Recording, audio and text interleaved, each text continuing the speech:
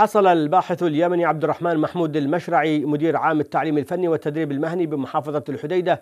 حصل على درجة الدكتوراه بامتياز بنسبة 99% عن رسالته الموسومة بعنوان تصور مقترح لتطوير الأداء الإداري في مؤسسات التعليم الفني بالجمهورية اليمنية في ضوء بطاقة الأداء المتوازن.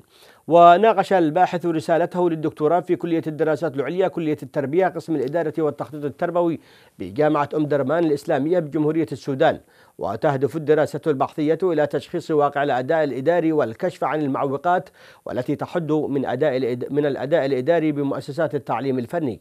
واقتراح الأساليب لتطويرها واهتمت الدراسة البحثية والتي تعتبر الأولى والتي تستخدم بطاقة الأداء المتوازن في مجال التعليم الفني والتدريب المهني باليمن.